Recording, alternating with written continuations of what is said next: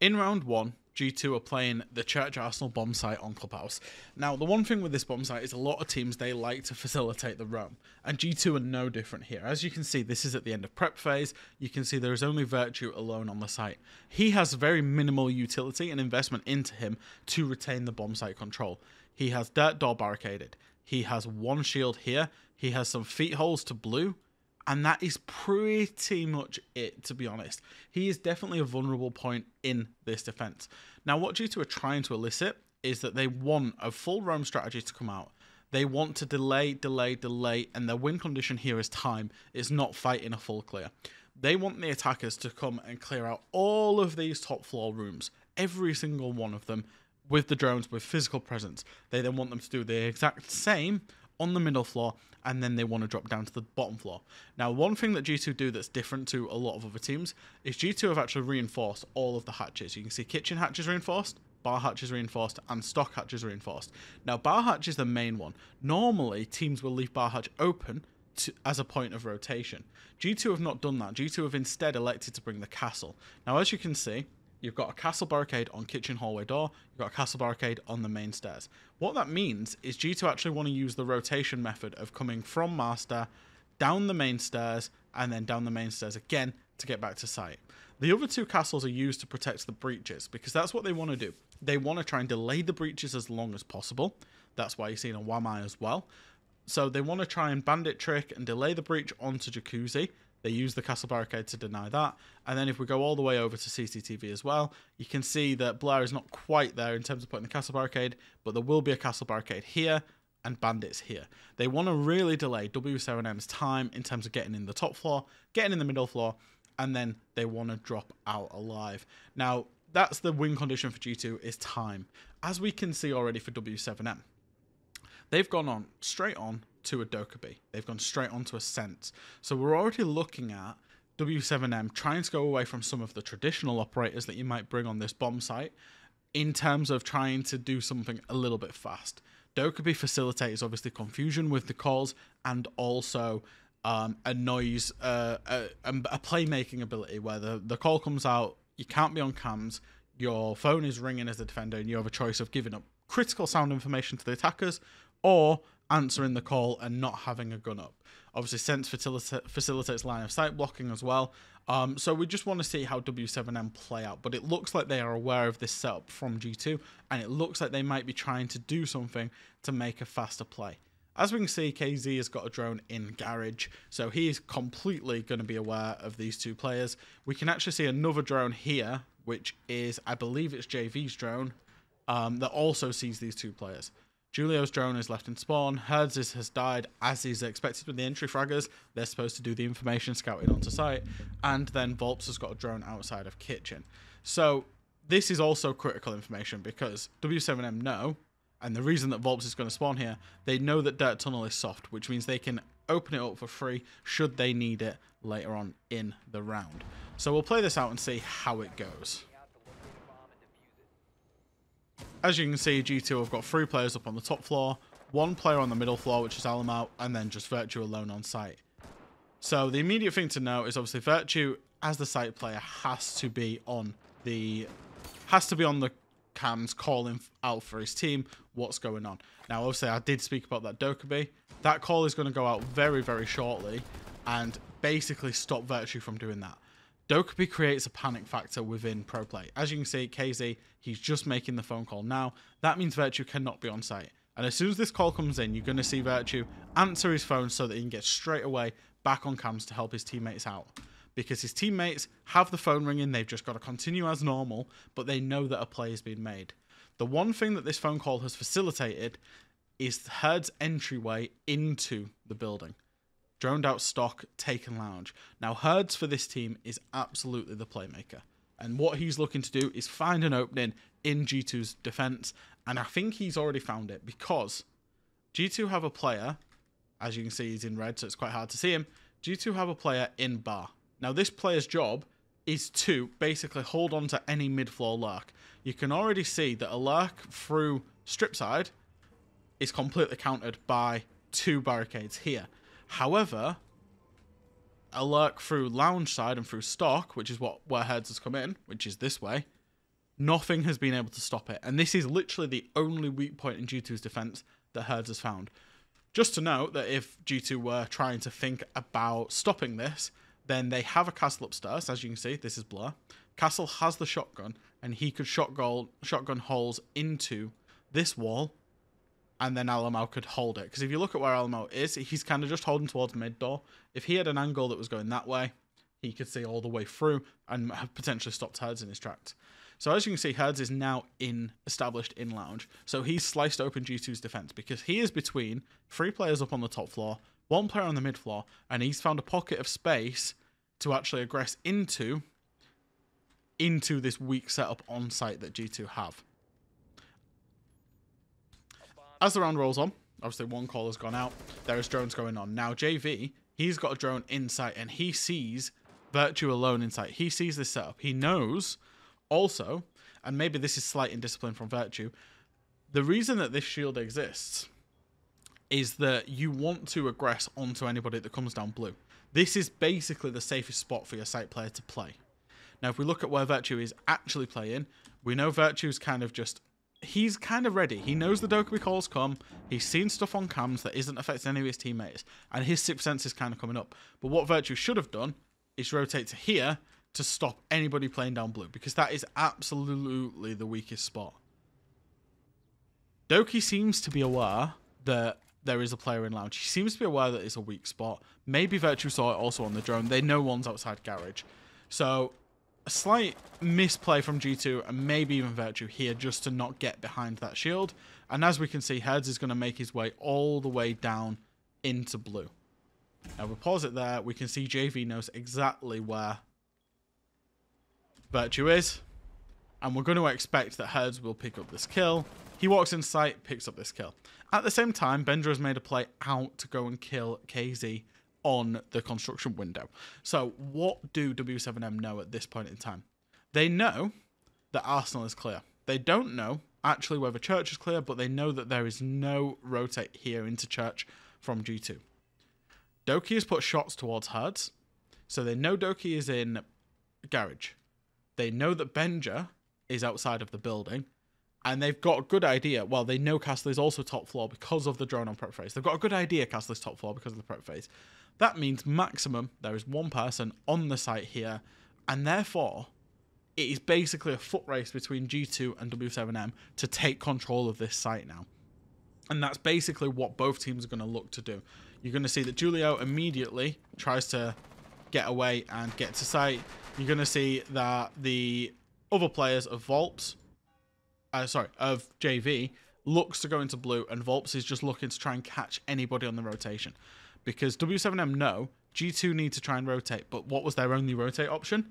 It was through the main stairs here. So that is exactly why Volps has dropped into logistics to try and hold this rotation option away. G2 have obviously will also realize that site is weak, and that's why you're going to see Doki try and fall all the way back down through garage, and you can see Alamo is already bottom main. So it's basically a, a foot race to take control of the site because there's very little investment and utility into site. It's a foot race between these two teams to actually get there and do that. As you can see, Alamau goes bottom main, manages to get himself into church. Herds has gone and liked deep in Arsenal, and you've now got this situation where you've got two players here that are both in a foot race to try and take this blue control. Obviously, W7M should be aware that Doki has the fastest rotation away. I did talk about that main stairs rotation. There is also a secondary one, which is down through garage and through oil pit. But obviously, as you can see, it can be cut straight away by the attackers as long as they've got blue control, which they took for free very early round. So both players seem to be aware of each other in this engagement, and as you can see, both players will trade each other completely out. So you've now, again, got exactly the same scenario where these two teams are fighting for this map control of the site very quickly. Now, the team that gets the quickest rotation, as you can see, is W7M. They should be aware that Dirt is free because if Dirt wasn't free, somebody would have challenged KZ from it there. It would be absolutely 400 IQ for a defender to sit in Dirt to expect this double rotation coming in. So they're going to try and take the Arsenal site as quickly as they can. Now, Blur has dropped down because he was up in CCTV side. He's followed Doki's same rotation. Should be aware that Blue is pretty much free, but needs to be cautious just in case there is a player holding him. Blair can now play towards Arsenal. He's obviously in. The problem with this is he's not in an advantageous situation because of the fact of the shield and these feet holes. It's very awkward for Blair to try and play blue. Now, Benja is also not in the picture right now, and that's because he's up in bar, kind of just waiting around, wondering whether there's anybody lurking on the mid floor, trying to cut his rotation. He's been very cautious about it. And what you've got on site is you've now got a 3v2 scenario about to occur for W7M. As soon as they get themselves through the dirt door, dirt door's open, and they will push themselves in. And as you can see, just from the way that Blair's playing it, it's not the most advantageous fight that he's having to take. He's having to prone in.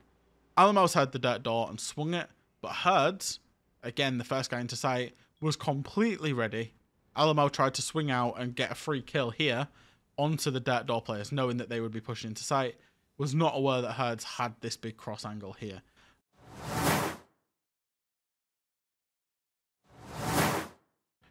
Round two, and we can see that G2 have gone for basically the exact same strategy in this round as the previous round. There is only one difference in their lineup, and that is Doki going on the Azami. So far, he has only thrown one Azami keeper barrier, which is not potentially shown in the replay, but is basically blocking a line of sight here. It's so that if G2 try and retake late round and they take into church, they've got something to try and play behind, looking towards blue. Now, for W7M, they're going on a, a very similar um a, a, very similar attack you would expect based on this lineup. Julio is not playing a hard breacher whatsoever. Herds this time is on the ace and Volps is going to stay on the sledge, JV on the Buck. So KZ, who was on the Dokkaebi, and JV, who was on the Sens, is now Iana and Buck, and we've now introduced a Nomad into the lineup as well. So for W7M, it's not going to be based on the fact that there's only one breacher, and this is a big indicator on clubhouses, the amount of breaches that teams take will indicate their intentions. Based on the fact that there is only one breacher, this you would expect is W7M going to do some kind of half clear or some kind of direct take. The reason being is that essentially with Clubhouse, especially for the basement, you've got hatches times by three. And then you've got church wall that you might want to look to open or dirt tunnel. So you've got plus one breach. Now, obviously, Ace can only open. He has three charges and takes two to open hatch. So W7M will be aware that G2 have reinforced all the hatches because they saw the setup last time. As you can see, kitchen hatch is about to be reinforced. So they can they know they can only open one hatch plus one half wall if they only play ace. I think the reason they've played ace is just in case Dirt Tunnel is left soft uh, is reinforced um, just so that they can open that. Because it looks like they're going to try and elicit something fast. Maybe Herds up on the upstairs just to try and open one of the walls and just put some false pressure. But the rest of the lineup, it looks like they're going to go pretty fast. They've also brought the Buck and the sledge, so I wonder whether they saw the soft walls in blue last time and and thought maybe we can explode into church. So we'll have to see. Doki's obviously playing Azami. He's going to play them up into the rafters as well to try and reinforce his uh, his setups. Now, as you can see, there's a drone in garage that knows Doki's location is there. Julio's got a drone in strip. Herds has got a drone by the kitchen door there. Volps has got a drone in kitchen. And JV's got a drone in garage. All drones alive. They are aware this is completely, completely the same setup. Doki's going to struggle to find this drone. It's still there. Now, as we can see, three have spawned out towards the kennel side. One has spawned towards Dirt Tunnel. And where is the last player spawned? Let's just double check this. KZ out towards kennels. Julio. Oh, four kennels. Yeah. Four spawn towards kennel side. One, two, three, four, and then one in dirt. Now that dirt player you can see already, he's taken that dirt control. He wants dirt fast. He knows that G2 left the dirt door closed last time. It is exactly the same setup as we've seen from G2. The same feet holes, the same shield for Virtue. Um, obviously needs to be careful not to get caught again. So we'll see how this one plays out. And as we can see, that fast entry again. Herds has actually thrown an ace charge as well. Let's just go back and see where Herds threw the ace charge. I think he might have thrown it straight onto one of the panels somewhere in garage. Just to open up below Doki. Let's see where he throws it. Maybe he throws it. Oh, he throws it on a window. So, we saw that the Dokkaebi play last time was to create the sound. Herds throws the ace charge on the window to create some sound going on there as he makes his way in through strip. And as you can see, volps has already gone into that. He knows it was soft last last time. JV has already entered into blue. They know it was completely free last time. So this is W7M knowing what the strat is from G2 and then playing into that same weak spot that was in terms of lounge and this um, Adam stairs going down into blue. This time though, W7M are actually going to look to hit Virtue because Virtue should be ready for it, but they're going to look to hit Virtue from two angles at the same time. They've got good awareness that he's probably in and around the same area, if it was me or if it was, you know, a lot of teams, they would be expecting him to be behind this shield again. Virtue's playing basically the same location. So I would expect that this first engagement is going to come on to Virtue pretty fast. And as you can see, two players straight away close to Virtue. A third player goes in Adam, but this player of KZ, he's just going to lurk and hold, hold the flank there for any player that runs down red will run straight into his waiting arms. Now, nobody's on cams, as you can see. They're making challenges. But if there was somebody on cams, then you would be holding the garage cam, this cam here, so that you know that Doki cannot rotate down catwalk. Um, and that is basically the only cam you would actually be holding, to be honest, because you've got the Adam flank covered and you've got two people making the play straight into Virtue. As you can see, Virtue, again, kind of seems aware that somebody might be challenging him. And now there's free. And this is where this Buck comes into play because the blue players were not necessarily looking to challenge Virtue too much. They were looking, and this is why they brought and Buck to make a play straight into Church. They'd seen that this wall was completely soft last time. They couldn't get through it because they had no means to. Now, JV has the means to. Virtue actually finds the first kill onto JV, gives away his location. Now, this is where W7MXL, you would expect Virtue to be almost immediately refragged. Site is taken by both the Sledge and the Iana. At this point, G2 have no clue who is in sight, but they do know that site is being hit fast. So what this causes is the ripple effect of Alamau having given up his position on the mid floor to take a position on in the basement. We would expect to see Doki at some point doing that same rotation down through church.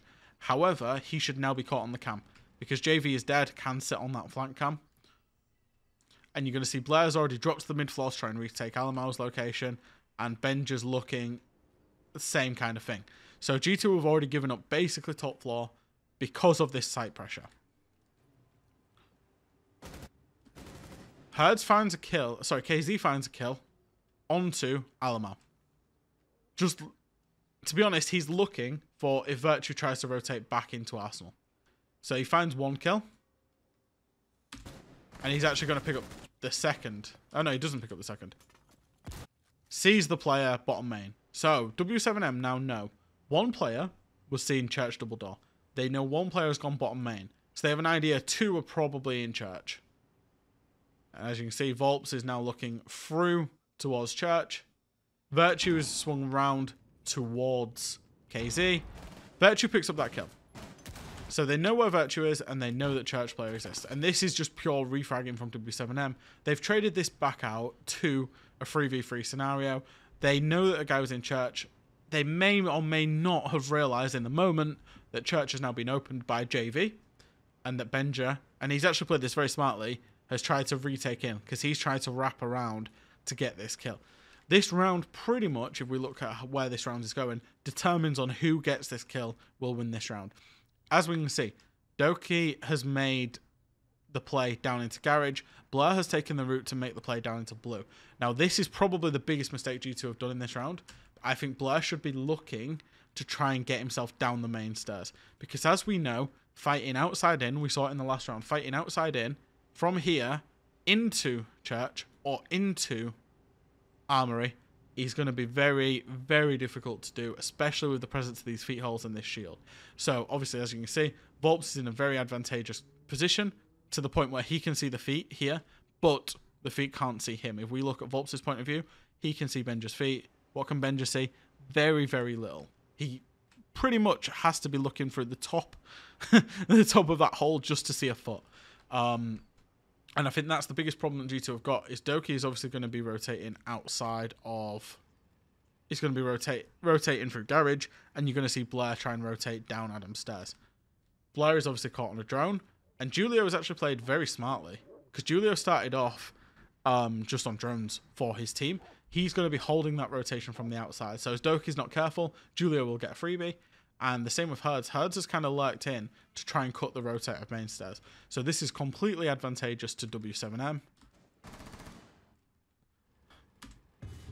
And at this point, oh, Julio's caught an awful timing. I don't know what's happened there, but I guess his uh, his Nomad Trap has gone off by the presence of Blur being in Adam, and he's completely let go. He's completely let go of the flank for Doki. So it's an awful it's an awful timing. At the same time, Volps has won his fight out on the armory side. So it's 3v2 advantage to W7M. They also are aware completely of Doki's rotation and completely of Blair's rotation. So they know two players are coming for blue. So what you should see is now Herds making a beeline for the main stairs. And where is Diffuser? Now that is the big question. Diffuser is probably dropped on JV's body. Yeah. So they know that they've got to play for kills, but it's all on Herds getting down. Ideally, if he can get down the main stairs, he can basically aggress through Moto and try and cut this rotate and try and cut this rotate back. So as you can see, the G2 players are going to make a play down onto the basement. Herds gets all the way to bottom main, gets himself into Moto. Now that's the most important thing that Herds can do is get himself into Moto. Finds that freebie onto Doki, and as you say, oh, as I say, they're fighting outside in. In terms of G2, they keep putting themselves in a position where they're fighting from this position in blue back into sight. Now, there's two angles that Blair's got to worry about, and what he probably doesn't know is that Julio's going to come in behind him and then pick up the freebie. Great pacing again from W7M. Great understanding of the G2 strategy, of the weak points in it, and they hit it hard for the second time.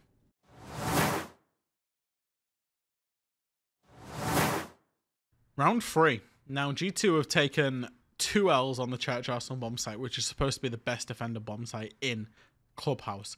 So they decide that they're going to go to what is considered the worst bomb site in Clubhouse, Cash and CCTV.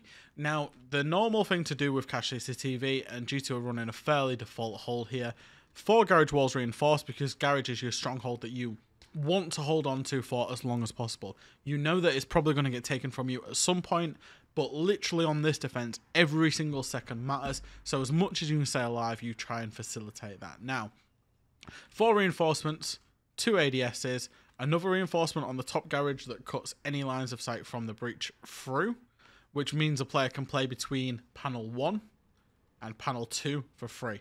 So this is kind of the the end zone of where players can play. It's kind of there for free. And that's where somebody will play. I'm assuming based on the lineups, that's probably going to be either Alamut or Virtue. They may even double up. Now, if we look at G2's lineup, they've brought Virtue on the Legion, particularly to stop any shield play. What teams try and do is they try and bring a shield, walk their way up garage, and basically bully this player, this player that is playing between these two, with the shield. They either try and bully him towards the shield, where a player can peek him, or away from the shield, where somebody can peek him from the breach. And that is exactly the reason that Virtue has brought Legion, is to stop any Monty play, particularly Montagne play, in the garage. As we can see, Julio is on the Monty, so that's a keen interaction that we're going to look out for. Now, Doki has brought K to try and keep the breach tricked. Benjamas has brought Mozzie. Now, this this operator in this kind of setup, um, he's probably very flexible in terms of what they want to do. The drone work, maybe, you know, the Mozzie Pass can be set up to try and take away drones from garage. You know, if there's one garage door, one garage drone hole, another garage door, it makes it very difficult for the attackers to get a picture of what's going on. Most teams, and I would probably side with them, wouldn't have a Mozzie in this lineup. I would probably have looked to try and get an Azami into this lineup if at all possible. One thing you could also have played here would be the Solace, because obviously the one thing about this bomb site in particular is any plant spot is obviously, as you can see, all of this is soft floor. Anywhere you can plant on this bomb site, is all soft floor, so that means vertical play from below is actually a really good idea. So not so keen with the Mozzie pickup. Do understand the Kaid, understand the Legion, understand the Jaeger. Now the reason that you'd pick, uh, pick a Doc in this lineup is particularly an, another old-fashioned way of taking the Garage rafters control is for the attackers to get themselves into this kind of position with nades you double flash up and you nade out any players. You could also use Capitao to just firebolt it. So the G2 have brought redundancy in both Legion and Doc to deal with the various ways of taking Garage. Obviously, if the Capitao bots come in or an aid come in, the Doc can just stim themselves back up, overheal themselves, whatever it may be. Um, and if that happens, obviously, even if the Doc is then down but not out. You've got a big long angle to hold anybody pushing up the stairs to kill him. So G2's lineup for the most part makes sense, maybe apart from the Mozzie that could be in his army. So they've obviously reinforced Garage. The main breach of site wall is reinforced and top red. Now the only place that this gets really different is going to be the fact that the construction wall, which you normally see reinforced here, has not been reinforced. Instead, you can see it's going to be out towards the jacuzzi breach out towards Gym. Now, that indicates that G2 are going to look to try and hold on to the map control of Master Bedroom. You can see they've already got lines of sight into logistics, should a player drop down as well. So G2 want to hold on to a little bit more map control that's considered default, but to be honest, their main fight based on the attacker lineup is going to be with Julio and the guys that are looking to take Garage. Again, we're going to see that this is a little bit more default from W7M. We've got two breachers. We've got the Ace and the Thermite. Now, the Ace's job, which could have been Hibana as well, but the Ace's job is going to be to breach this panel in Garage, and what that gives you is the top rafters. So you get an angle all the way, if you're stood here, you get an angle all the way through to this spot, and then to breach bottom garage here the Thermite's job, and it can be Ace or Thermite, it's kind of interchangeable, but it's much better to have a big breach here. The Thermite's job is to breach the main side, and that would be considered fairly default in terms of the take. Now, if W7M were going to go for the secondary take of this site, that's where you come from master side across.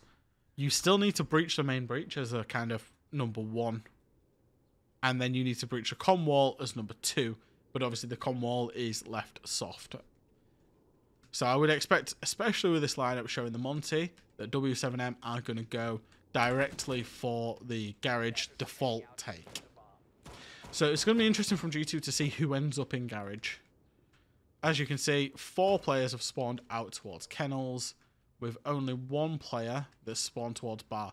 So based on the fact that all five players are on the east side of the building. I would assume that this is going to be garage and the is going to be garage and um, the breach taken straight away. Thatcher is on the board. Uh, sorry, Thatcher is not on the board, um, so cannot be used. So W7M needs to figure out a way to get around the Kaid Claw that Doki presents. And as we can see, it's going to be Virtue that's used straight away, getting himself into into garage there and using the Legion goo mines to try and delay the Monty, basically. Thermite is outside the breach, and this is the big problem for W7M, is how do they clear these Kaid Claws? Doki has only got one, and as you can see, he's sat waiting to trick it. The Cade Claw is actually on the breach. So there's a, a few methods that teams can use. One of them is a nade from the window across, and that's why you see this ADS. Or you can go underneath and nade upwards. Now, obviously, with Kaid, it's a bit trickier to do that because you don't know where the claws can be located. Particularly on this wall, where you can put a claw inside of the top red bit, you can put it inside of the monitors. It's very hard to see vertically upwards where these claws are going to be. Um, obviously, if you have pocket EMPs, which W7M do not, it can be worthwhile to just use the pocket EMPs. But Doki's going to look to keep this breach closed and if we look at the rest of the lineup from W7M, you've got an Iana going to open this window. So it looks like it's going to be the nade setup. Julio's droning out Garage because he knows that's where he wants to be. Now, this is the big one, is Herds. This is the big variable in this lineup. This is all very, very, very default from W7M so far. But Herds on his own is on the Nook operator. Now, obviously, Nook cannot be seen by cannot be seen by cameras by any kind of intel. Once when the gadget is activated, is obviously very quiet, and that is why Benja is now playing below, and that is why these doors are barricaded because they know that a lark is kind of coming in. This is kind of the same as that church, the church rounds where Alamo is controlling bar.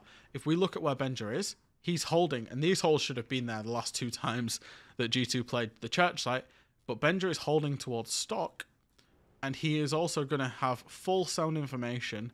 If we look at anywhere where he could be aggressed from, there's going to be full sound information for him that there is an attacker coming in. As you can see, there's a drone that is holding bar as well. I don't actually believe anybody is on the drone. Julio isn't. No. So this fight between Herds and Benja, it might not happen yet, but it is absolutely coming at some point. Is Julio still on these drones? He's just joining Garage. So it's going to be a self drone here for Herds. He knows that um, Benja exists there. And he's actually, he's now not going to sneak around. He's going to try and fake presence.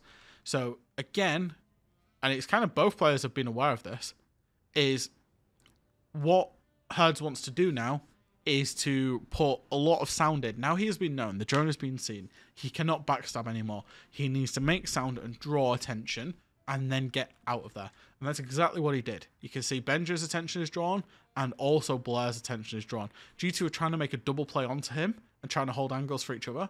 But Herds has just made the attention and got the hell out of there, which I think is a really smart play at this point.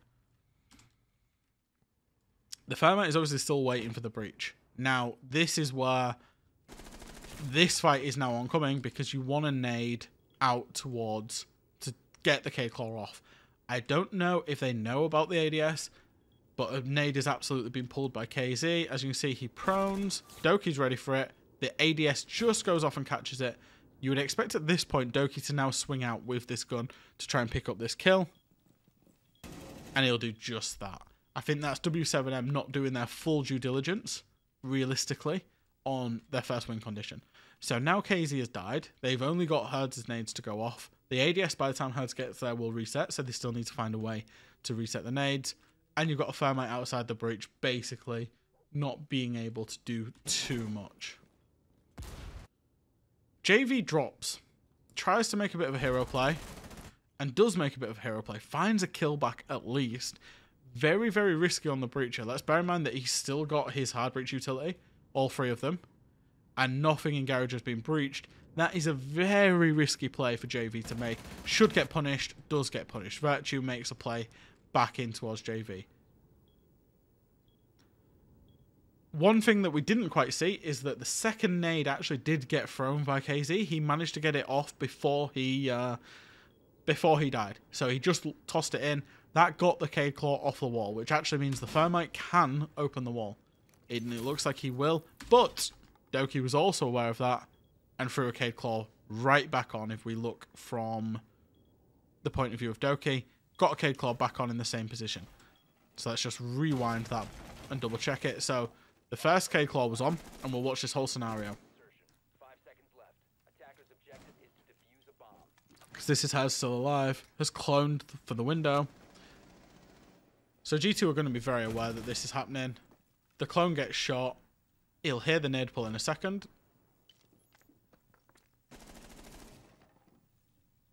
Here's the nade pull. Knows he has an ADS. Second one just gets thrown. So you can see the second one just thrown there from KZ. First one gets caught, just throw the second one, doesn't matter about cooking it. Doki gets the kill. Turns around and throws another. This is great play by Doki. That there is great play that keeps the wall closed. Because as much as this hero play comes on from JV, he keeps the wall closed and that's the biggest thing. JV gets a one for one, gets traded back out. So that's one breach dead and then one breacher gets tricked. So they have one Thermite charge to work off of, and they've not basically done step one, but W7M are going to start trying to play step two. Step two is Julio walking into garage to try and clear Virtue. And again, it's kind of panic stations for W7M. Their backstab has not worked. Their first clear, in terms of clearing the CCTV breach and opening that, has not worked. They've got to figure out a plan double time. So that first plan is going to be somebody just lurking into gym, as you can see that player will be Volps. He's just gone into gym and he's just going to hold. This is not. This is natural line of sight. It's just the replay not showing that it is. And they're going to try and force it in from the other direction now. But again, another problem they're going to run into on that other side is that they've got no soft breach utility. And actually, they didn't bring any. But even if they get control of master bedroom, even if they get control of construction, they've still got to try and get through this breach with no way of actually breaching that wall other than just shooting it open. Herds has tried lurking into stock, found himself a gunfight. Oh yeah, Benja, he's still in bar. He's still holding on to that. And actually G2 have the numbers advantage to make a play together, which is what Blair was trying to do, but Benja takes the peek and gets the kill anyway. And again, it's just about, for W7M, they're just trying to recover the round completely. Finds one back onto Benja, but that is literally it. And then now trying to force a 2v through. They know that the players are going to be over on this side. And G2 can just assume crossfire positions and play this one out. Um, and I think for W7M, this is maybe a variation away from just doing a default. Had W7M had brought anybody other than a Nøkk here, they would have been able to open this wall pretty easily.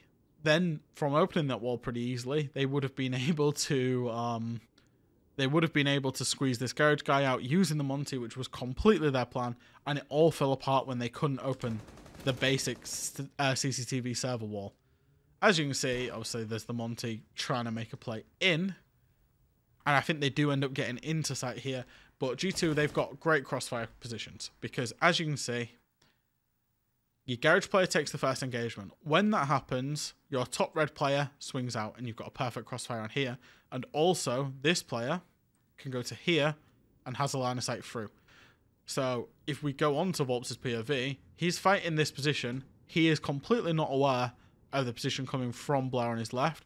But I do think Blair, for you know, for what it's worth, is playing it a little bit passively to let him walk in. As it is, the Thermite has not fully walked him. Now the Monty's gone in front of him, the Thermite can take a straight one-for-one fight with the Legion. That triggers Doki to look through the holes. That triggers the movement. Blair, as we say, he was playing it passively and has actually gone and just completely left. Not sure what his play is, just to, I think, other than just to get out the way of the Monty and try and isolate the 2v1 gunfight on site. That's exactly what happens. Obviously, Julio is now just by himself as a Monty. He's got to try and find some kills. Does some ADS in. Does pick up the Do uh, does pick up Doki. Tries to smoke and plant in the smoke. Now time is very low. He's got to plant or find fights. He just plants in his smoke, gets off it, faces an impact, and in the end gets knifed away. And that will be the round. And I think for this round, honestly, it all comes down to the fact W7M couldn't do that default first step in this take, and this is what we say about Clubhouse being the one, two, threes if you can do the one, if you can't do the one, you're not doing the two or the three. You've got to be able to do the first step, then the second step, then the third step. And as long as you can do that properly, you will win your attacks on Clubhouse. W7M didn't do that. This was a very attackable round for them, um, and they didn't achieve it.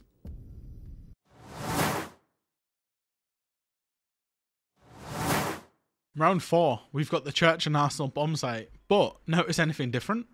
Because I do. I notice in the bomb site, there are four people. Now, previous two rounds that G2 ran on this site, they roamed up on the top floor. So it's worth us looking straight away what is being used on the top floor. We can see there are no reinforcements on the jacuzzi side. There is no castle. Even on the lineup, there is no castle. There is nothing out on the CCTV side. There's nobody playing in rafters. There's nobody um, realistically playing in the middle floor G2 have changed their strategy. They're going for a complete turtle strategy rather than a roaming strategy, which is in the macro game. That's W7M winning this because they forced G2 off their preferred strategy they tried twice, and they forced them onto their secondary strategy to try it again. Now, let's look at the players. You've got Doki, who's playing on the Azami. He has already put that same Azami keeper barrier that he did last time. It's not been shown on the replay for some reason and that will be there. We've actually got a more default lineup of reinforcements. We've got a blue reinforcement with a rotate into blue, a rotate into and out of Arsenal as well. The same shield that's being placed, and Dirt Tunnel, as you can see, is reinforced. And again, due to a playing for the title. We can now see they've got impacts on hand of Alamau. They've got Kaid to try and keep the hatches closed. They've got Goyo to try and deny late round and also any kind of pushes or solo play. Basically, just control general areas. They're going to sit on site and then they're going to sit behind. They've also got impacts on Doki as well. And they're going to sit behind the utility and just take a lot of time and just try and make it very hard for W7M to work the site. In in return for this, because they're trying to do that, they're giving up such big map control. But as you can see, W7M, they weren't interested in taking it anyway. Now, JV's back on the Sens, so we're looking at, we've got a Sens and a Lion coming in again. Um, however, this time, Julio and Herds are going to play Breaches, which looks like they want to do some kind of full clear. The fact that they're bringing a Maverick shows that they want to clear this Moto hatch with the Maverick. As you can see, there there is a Kaid possibility in play. We don't know if W7M know that there's a Kaid yet, but because of the possibility of Kaid, if they know that they want to clear this motor hatch and end up in church, then they need to bring the Maverick to make sure that definitely happens. Or the EMP grenades, which obviously are not, you know, necessarily always going to hit with Kaid Claws given the range of them. And then obviously you've got the sledge of Volps as well. What do they know in terms of the drones? One in garage. And you can see they already know there's no roam going on. One in spawn. One in... Where is that? One outside the kitchen hallway door. One outside the kitchen door. And then one drone in garage. So W7M completely know this is not a roam setup. And that they can completely just go in, take the map control as long as they're thorough.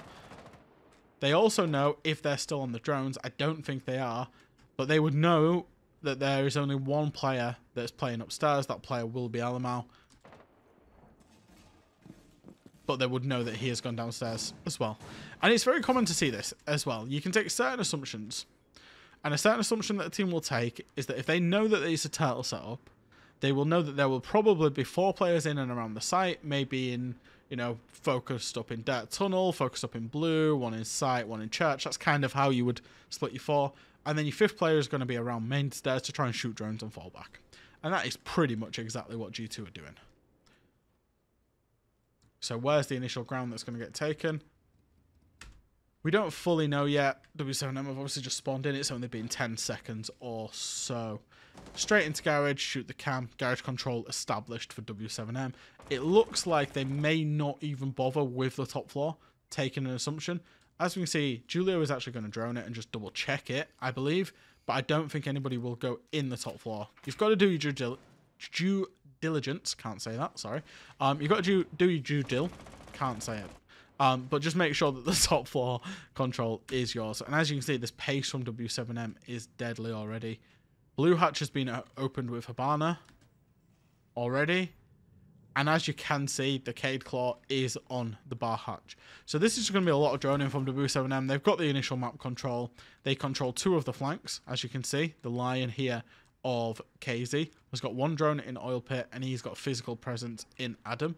So that's two of the flanks established. Now, all it does is it determines where you want to end up, determines what you're going to do in terms of kitchen and playing vertical and everything else there obviously if you're going to do a kitchen and a dirt take then you would have somebody posted up on this door whether that be from chains or physically stood on the door just to hold the flank and the main stairs but g2 cannot really flank they know that everybody knows that it's not something they should really do and this cat and mouse game of can kitchen hatch be opened is about to be played so we've got Doki and we've got Alamau. Now the interesting thing for G2 is their impact nades are nowhere near the hatch. Which means this hatch can be opened for free and it looks like it's going to be too late. Maybe. Maybe not. I was about to say, it looks like it's going to be too late for G2 to open it. Doesn't look like it. And you can see they rotate fast. There's now, it's like they're in an actual race to try and open, uh, to try and impact trick this hatch. Obviously, impacts will destroy the Hibana pellets without destroying the hatch. Four Hibana pellets opens one hatch. Three have gone off so far. And it's a complete cat and mouse game. Now, the one necessarily the one unexpected item here is the fact that Virtue had a Kaid Claw in hand as well. So G2 focused all three people on trying to deny this hatch. Kaid Claw has gone on as well. Gets the Hibana, uh, gets the Hibana charges. So Hibana's now left with four that have been used to open this hatch. Six have been attempted. So Hibana has at least eight left in terms of the breaching. But this is a big determination on why W7M end up. Because this hatch has been struggled to be opened, they might lose potentially another four pellets because Alamo can still impact trick twice. Two times two impacts obviously equals four. Um, that would mean that unless Julio fancies Maverick in a hole in Dirt Tunnel, the Dirt Tunnel will stay closed. If Dirt Tunnel stays closed, it's very, very hard to actually drop this hatch due to the presence of the Keeper Barrier here and a player here because they're just going to catch you when you drop. So because of all this all this attention from G2 onto this hatch, this means that W7M probably are going to have to change approach, go for the moto hatch, and go into church whichever way they can. And it looks like that's going to happen. As you can see, Herds has just completely left the um, kitchen hatch. Oh no, he's actually going to try and still open it. Puts one pellet next to the kitchen hatch. Does nothing, but does get rid of the Kaid Claw and he's going to try another two pellets. So this hatch is absolutely going to be opened. Unless Alamau can impact trick. Can he get there in time? Doesn't look like it. G2 don't look like they're interested. They feel that they've got enough value. Oh! Virtue makes a massive play. Virtue makes a massive play to shoot. Let's just go back. To actually shoot the Hibana pellets off the hatch. So Herds now has, I believe, four pellets. And now I believe maybe two pellets. Will another impact come in? Maybe, maybe not. Volps is obviously doing his best to try and protect these ones. Hatch is opened. Now KZ has found a play in blue. He's found a play blue lurking down. Uh, all the while this is going on. And let's not forget that this hatch mini game has had the attention of Doki, Virtue, and Alamau. Now, these three players coordinating in sync will have absolutely cluttered the comms, and I think KZ has just caught an unreal timing here to actually just walk his way down. He's seen he's seen Benja, just sat holding him. There is a drone. I don't think anybody's holding it for him because of the presence of where everybody else is. Oh yes, JV. JV, we've seen it again has been very good on these drones. Now, this isn't JV's drone, it's KZ's drone. But as soon as anybody needs a drone holding, JV is absolutely there to hold the drone. KZ walks down, gets the wall bang, gets himself away. All the while, Julio, whilst all of this has been going on, Julio has been opening the motor hatch. So actually, W7M now have a lot of options. They've got two hatches open. If they really wanted to, they could actually open Dirt Tunnel, because one thing that I did admit is the fact that JV is running the hard breach can openers as well. So we've got to see where W7M want to end up. But they've got full map control, they've got a minute to play with, and they've taken and killed one guy in blue. So they've got numbers advantage as well. Two players are in church, two players are in Arsenal. So essentially, whichever way W7M slice and dice it, they've got the opportunity to hit one of the sites with a numbers advantage. Now, during all of this fiasco as well, the Azami of Doki has reinforced off mid-round this rotate, which means he wants nothing to do with blue.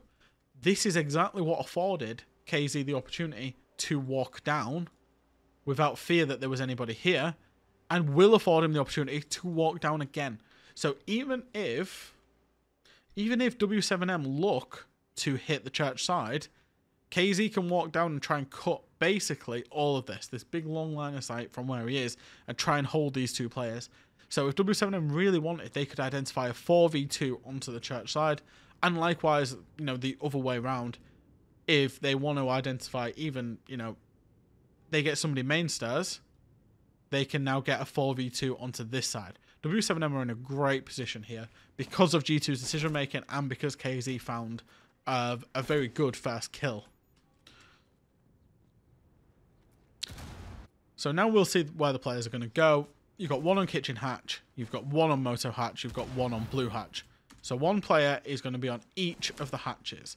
Now, one thing that we've not yet spoke about is the fact that there are lots of excuse me, there are lots of flash on W7M. These flashes are going to be important because they're going to start being spammed alongside the light walls. Now, the Sens light walls from JV aren't shown, they don't get shown on the replay. But what we can do is track the steps. It kind of does get shown that, oh, it does. There we go. So the light wall goes off here. And as you can see, KZ has used all of his flashes. These flashes are also going to be spammed at some point as well. Now, there's two points of distraction here. There's flashes down the hatch here. So these guys are completely flashed, don't really know what's going on. And then there's the Sens wall here, which forces Doki, as you can see the rotation, into here. So you've got fire going off, fire going off, perceived attention here, perceived attention here, and in the meanwhile, where's the diffuser? The diffuser has walked down the main stairs and gone into back Arsenal. This is great by W7M. And we're going to slow this down just to show it again.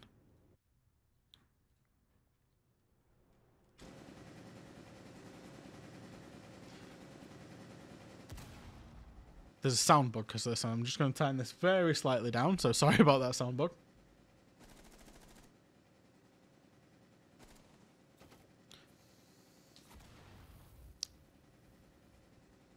Actually, I'm going to turn it completely down. So, in hand very shortly will be JV throwing the throwing the light wall. That's coming in now. KZ is throwing the flashbangs. You can see the flashbangs are actually going off here because he's throwing them from the hatch. Light wall comes out. Doki makes the play in. At the same time, one is Church. He makes play in. He's flashed. He's flashed. Big opportunity. And that is exactly what W7M exploit. At the same time as this is all going on, KZ drops after the flashes, and what W7M want is they want the mayhem to happen so that the plant goes down because they can hold the plant from above as soon as that happens. They've gone for an off spot. This pillar spot is not too well known about, or not too. It is well known about. It's not used as much as teams, you know, as W7M did here. It's not frequently used. KZ walks down blue, finds that first kill onto Virtue. There is absolutely nothing these church players can do because Doki reinforced off that wall. He was feeling too much heat from the side of KZ. Julio holding from the hatch again has spammed two of his flashes, gets the kill onto Blair. And that 4v2 that got established, KZ picks up one, Julio picks up one. These guys church door, like I say, as soon as you've got a player that can hold the main stairs like like Herds is, can hold that long angle all the way across, all the way across here, they can do nothing. Plant goes down. They can't really swing out. Volps gets off the plant, swings one and they know the last guy's in church. KZ kills him. This round and this execute from W7M, start to finish, is absolutely incredible from them. By using two methods of distraction, one and two, they created a point of engagement here and a plant here. Very, very, very nice stuff from W7M. A great execute. They've now beat G2's primary defense on this bomb site and their secondary defense on this bomb site.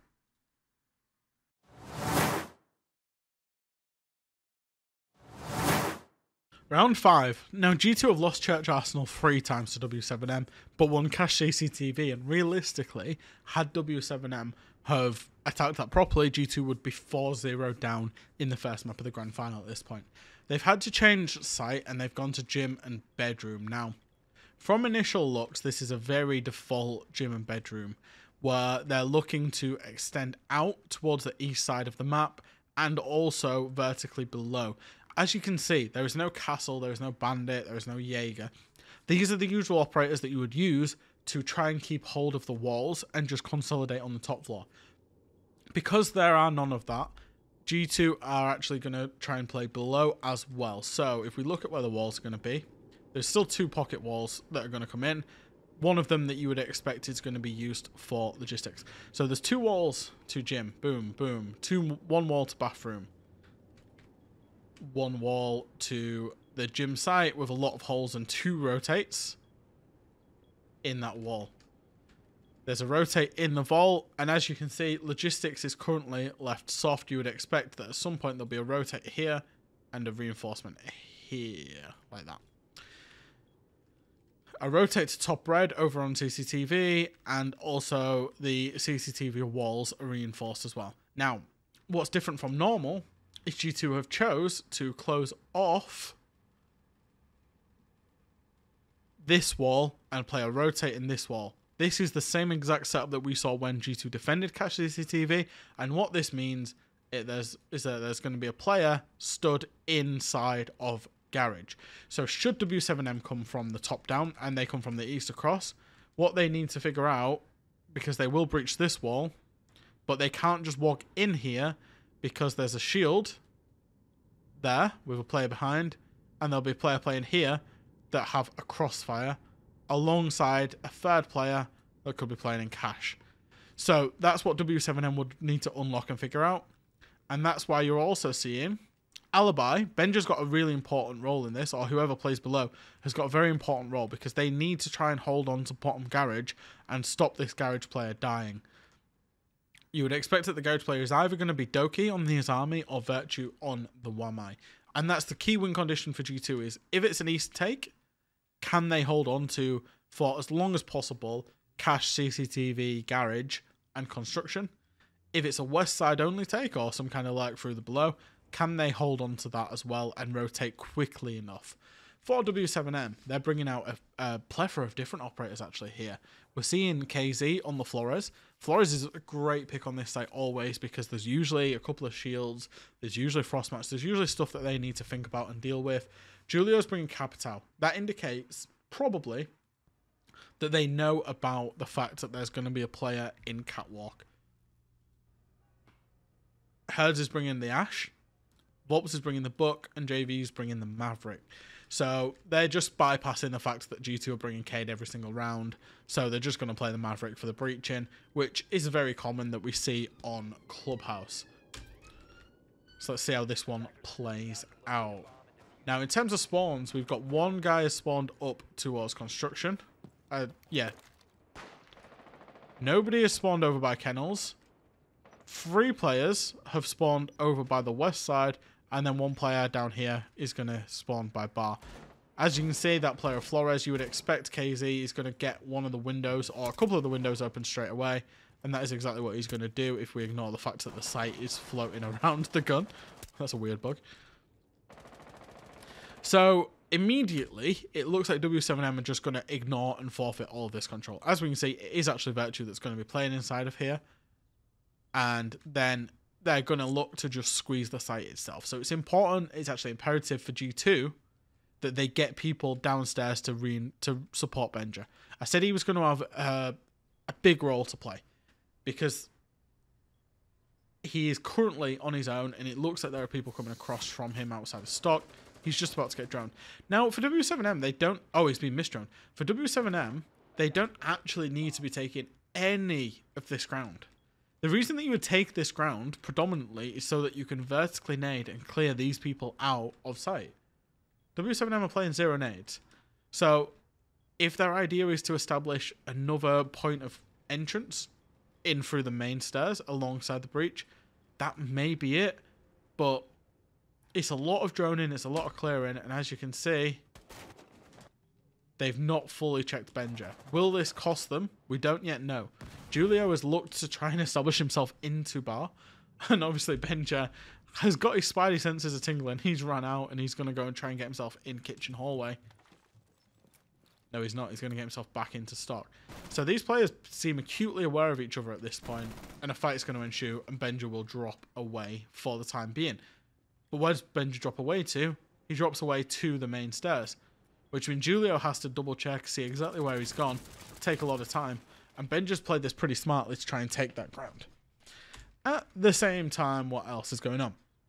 We've got the Maverick that is going to try and open the jacuzzi wall, and that's pretty much it from W7M. It's there's not too much going on right now. You've got the Flores that's going to try and take utility away from the roof through the windows using the Flores drones.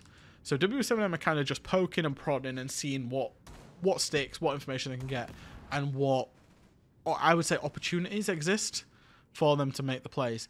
G2 have completely overreacted on the fact that W7M have gone below. And I say overreacted, they needed to help Benja. They don't obviously know that there aren't free nade operators here. So they've tried to completely take this ground, and that's right. It's completely right. They should fully, in theory, abandon this setup.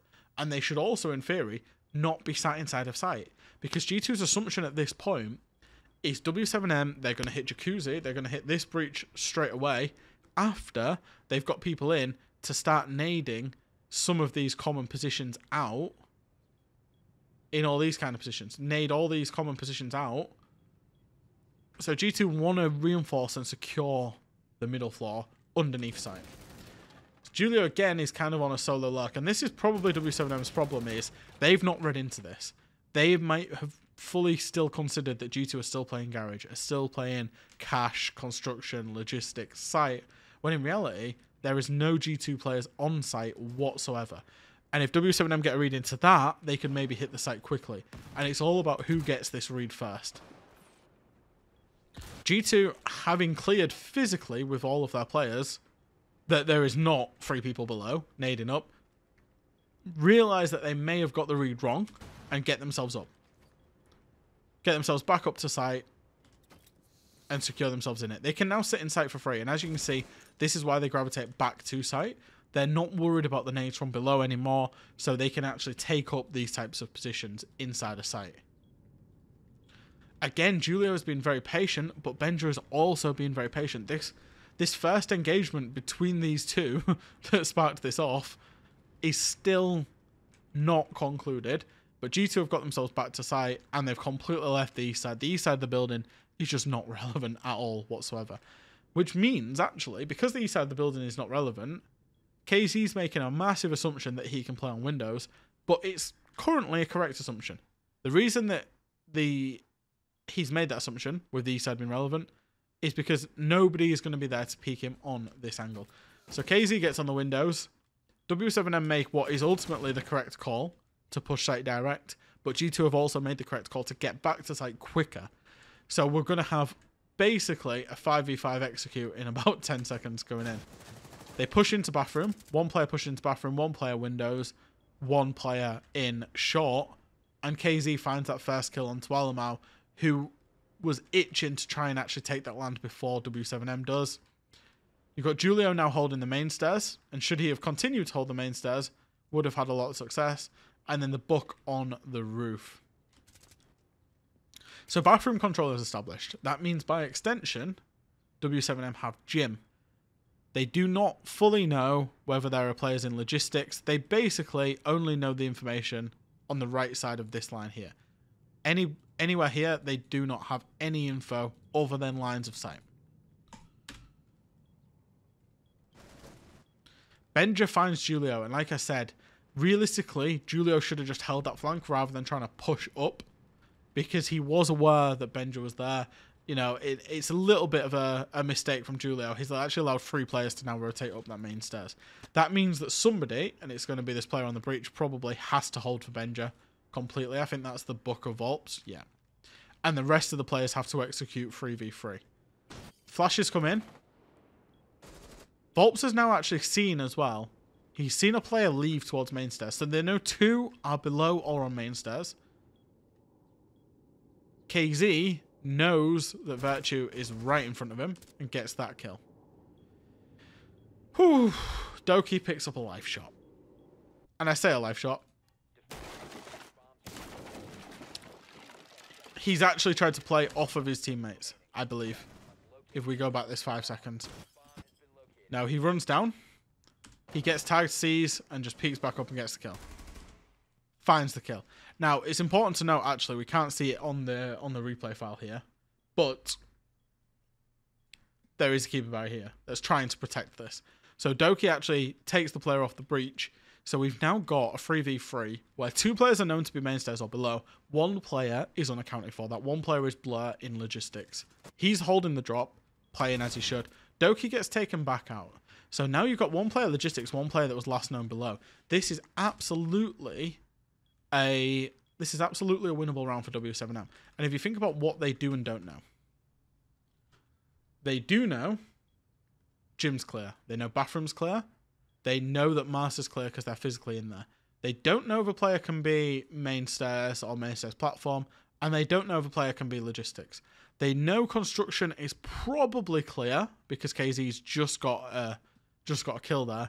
So the one remaining player is either one logistics or two cash side.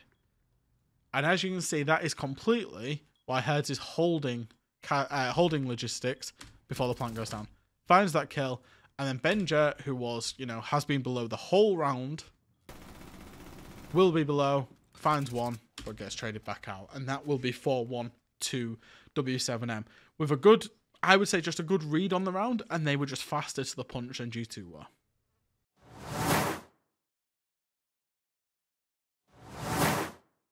Panic Stations has hit G2 this round, and um, they've gone back to Church Arsenal for the fourth time. Now, it's very hard to say whether this is a roam, whether this is a turtle, whether what's going on. So if we look at the reinforcements, we've got two reinforcements on our side. We have got one reinforcement currently being put up in church. No reinforcements to blue. There is only one reinforcement left. Now this is going to become apparent why this is curious in a second. All three hatches are reinforced. Jacuzzi wall is reinforced. But CCTV wall is only single reinforced. Now, I don't know if this is a roam, a false roam, a I think this is maybe a scramble together strategy on the fly by G2, where they've maybe called, you know, at least show some presence top floor. Obviously, they turtled the last time that they defended this bomb site, and they were beaten in spectacular fashion actually uh, with a flawless round and the first two times on this bomb site they roamed. So actually i think they're just trying to scramble something together um, to basically try and throw w7m off. I think they felt that w7m had a good read into how they were going to play it. So doki is up on the top floor with his army so it looks like he's going to do some presence. Now g2 i guess wanna wanna roam but actually want to get back to site so get the reinforcements upstairs, show some presence, but get themselves back to site very quickly. They want, ideally, I think the outcome of this to be that W7M play fast into them whilst they're all turtling. That's how it looks right now. Benjamin's up on the top floor playing some Kapkan. Virtue's in church, Blur's in armory, and I think the big giveaway that actually it's the it's going to be a at the end it's going to be some kind of turtle strategy is the fact that Blur's on smoke. When it was the roam, it was Virtue that was on smoke and Blur was out and about on the castle. So, and then you've got Alamau playing out in bathroom. For W7M, what do they know? They've got a drone in garage. They know that probably Doki is going to be in there. Julio's got a drone in spawn again. Herds' drone is dead, as you would expect. Vault has got a drone in kitchen. And then JV's got a drone in garage. It's very similar, very same from W7M. All this is about is W7M getting a good read into what G2 are actually trying to do and then executing it. Now, that final reinforcement is just about to be used by Virtue. So the CCTV wall will stay soft. And again, this is due to using too many, you know, wanting to do both at the same time. So the big thing for me is where do the G2 players go? Do they stay or do they go? Because you've got two up on the top floor, a two on the mid floor, and one onto site.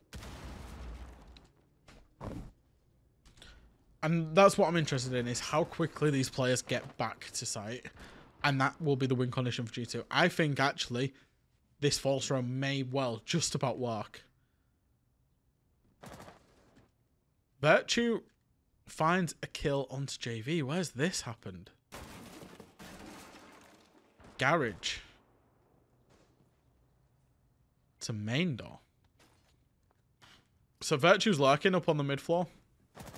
Ends up netting him a kill. That's also the Maverick off the board. Now, obviously, G2 are no longer using the Kaid. This is probably the first round they haven't. And it looks actually like W7M wants to full clear this. So this should be a great indication. This trigger moment now, Virtue getting a kill, this wall being opened, should be an indication for, is that Doki on the main stairs, to get himself down. And then for Benja to maybe stay and rat, or to get himself down as well. Doki will see that the main stairs window is going to be opened he should use that as an indication. Get yourself away, get yourself down. G2 actually really want to fight this. And again, W7M, they've been sloppy. JV's been sloppy, exposing himself to main stair uh, to main door. Herds has been even sloppier by just walking in kitchen whilst not knowing, whilst not knowing what is clear, what is not clear. There is only a drone at his feet that JV was on, but he's gone in by himself. The doorway is not even open to kitchen hall. Not exactly sure what W7M are trying to play for, because again, they're now taking a, a, lot of risks up on the top floor. You're seeing Julio's just having to force his way in. Sorry, Julio's drone in 4KZ. They're just trying to pick up the pace, trying to find a kill back. They don't know Benja's up on the top floor. Benja's actually going to find a lot of success should he make the move quickly. One player is in logistics, and it looks like Benja, oh, he doesn't quite pick him up, just takes some pop shots at him puts him down to 10 HP and can leave should he want to. For W7M again, this is this is a round where W7M have not gone through the processes at all that they would want to have gone through. Um, and are trying to recover this round because of sloppiness, ultimately.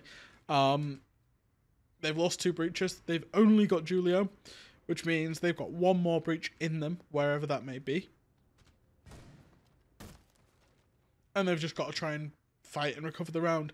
Now, for G2's purposes, they've got themselves back on site. They can wait, they can wait, they can wait. They can also play key locations under the hatches. Note the two locations that they're playing. One under kitchen hatch, two under motor hatch. At least one, probably both of these locations, are going to be staying in control of G2, which means Moto's in control of G2 and Armor in control of G2. That's important because it means you can have crossfires all over the place on any of the entrances. Obviously, there's the main stairs entrance, there's the tunnel entrance, there's the blue entrance. Either way, either way, and if I pause it here, this player can hold blue alongside this player. This player can also hold main stairs alongside any, basically, anybody. Alongside this player. And then, obviously, you've also got a triangle for the entrance too. You've got all of the entrances covered with at least two angles. That's why killing these breaches is so important, and that's why it was so sloppy for W7M. Now we're going to see KZ try and make a play. Julio's used his used his one breach on the stock hatch just to allow, try and allow KZ to make a play in on that Dokkaebi. There is one call, there is a little bit of opportunity, but you would expect from G2 perspective that somebody inside church can stop this from happening. If you look at the G2 angles that they're holding, Doki's got an angle towards Oil Pit. Virtue's looking, using the shield in that position that we said that he should have been in the first couple of rounds. Blur is also looking towards blue, and Alamau is also focusing blue. G2 are completely aware that this attack can only come in from one angle, and have now created a double-double crossfire, if that makes sense. Two players, two players, crossfire in this, crossfire in this. It is very likely that the main stairs cam is also up. So to that extent, they know that they have killed G2 know they have killed Hibana They know that they have killed Maverick. They know that both thermites have been used because they know the top floor thermite was used and they know that the stock hatch was opened. And then that only leaves Ace. Now, if a team is running a four hard breach, I would say G2, that's a very fair assumption to make that Dirt Tunnel is closed, and that's why these players here can just show their back to Dirt Tunnel. Nobody is coming from Dirt Tunnel, not one player. Now, W7M, they need to figure out a way of backstabbing, because if you, could throw a blanket over all these guys, they're so in cl such close proximity to each other, all walking into a crossfire, it's not going to work. Somebody, somewhere, needs to find an opening. Now, that's either Oil Pit to come down and try and take a 1v1 fight with this guy, or that's main stairs to try and walk your way in through any of those angles. It is still potentially winnable for W7M, but G2 have got themselves in a really good scenario here. KZ's got, obviously got himself established bottom blue. Julio goes with him. Doesn't go with him. He's now actually going to leave. And this is what W7M need to do. Where did Volps pick up that kill? Where is Volps? Volps got to Oil Pit and found the kill. So, yeah. We said that there might need to be two people. Volps has dropped and found a great kill. Let's watch that from his perspective, actually. Virtue's tried to tried to move out. I say move out position. Virtue's shield's gone. Um, but he maybe could have just crouched down and got behind a box rather than stood out. He's been deleted because of it. So now it's all about where Julio realistically can go because two players are known to be blue. And it's about where this rotation can come.